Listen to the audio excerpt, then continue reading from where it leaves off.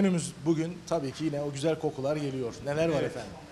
Bugün mercimek çorbamız var. Fırında kanat var. Ee, patates kızartmasıyla birlikte servis etmekteyiz. Ee, bir de me- nohutlu pilavımız var. Pirinç pilavımız var. Yine saat 6'da geldik. Yemeklerimizi yaptık. Ee, servise çıkacak bir şekilde hazır ettik. Arkadaşlarımız bu sefer taslarını tek tek ihtiyaç sahipleri e, ailelerimize ulaştıracaklar. Biz de bu e, gayreti her Ramazan'da olduğu gibi 30 yıldır 30 yıllık bir tecrübeye dayanarak yapmaktayız. Bu bilinçle, bu titizlikle, e, bu hijyen kurallarına kesinlikle riayet ederek ki günümüzdeki hastalık e, ortada. E, en en güzel özveriyle evimizde nasıl yapıyorsak, nasıl yiyorsak burada da aynı şekilde e, çıkartmak için gayret göstermek. Yine en güzel malzemeler yetimlerimize, kimsesizlerimiz için Kesinlikle. en güzel lezzette pişiyor. Sizin bir şey dikkatimi çekti böyle çorbaya katarken ya e, şifa olsun ya Şafii dediğiniz. Zaten besmele ile başlıyoruz Allah'ın izniyle. Ee, yine aynı şekilde besmele ile devam ediyoruz.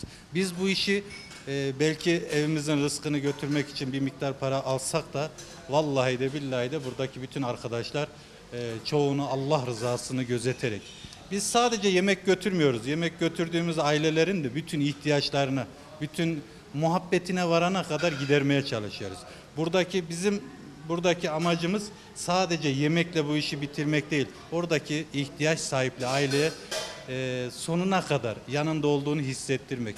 Biz bu yemekleri çıkartmanın en büyük e, faydalarından, paydatlarından birisi de hayırseverler.